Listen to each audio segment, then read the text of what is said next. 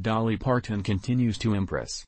She is a tireless worker for the suffering as well as being a country superstar. It is not new for a celebrity to help others through charity and other good works, but what is new is that Dolly does her good works quietly. She never wants credit for what she does and that alone is a breath of fresh air in today's 24-7 look at how great I am celebrity culture, loading.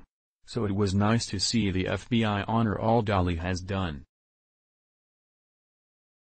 From CNN, singer Dolly Parton was recognized last week by the FBI for her efforts to provide financial support to families affected by wildfires that ravaged parts of eastern Tennessee in 2016. At a ceremony on Friday at the FBI headquarters in Washington, Director Christopher Wray honored Parton with the 2018 Directors Community Leadership Award, which was accepted on the singer's behalf by David Dotson, the CEO of the Dollywood Foundation.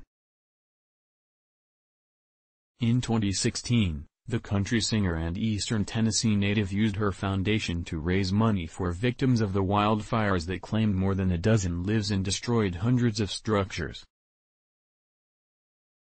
The fires spared Parton's famed Dollywood theme park in Pigeon Forge. After the Gatlinburg wildfires, Sevier County native Dolly Parton decided to help her hometown neighbors who had lost everything. The FBI said on its website, Parton and the Dollywood Foundation provided $10,000 to each of 900 families. The donations brought renewed hope to a community devastated by the worst natural disaster in Tennessee history. In a taped address to the FBI, which doled out the award to 57 other recipients from across the country, Parton said she was honored to be recognized by the agency because there's no higher calling than your mission to protect and serve us. And to my fellow recipients, thank you for all you do for our communities. Your work inspires all of us, she said.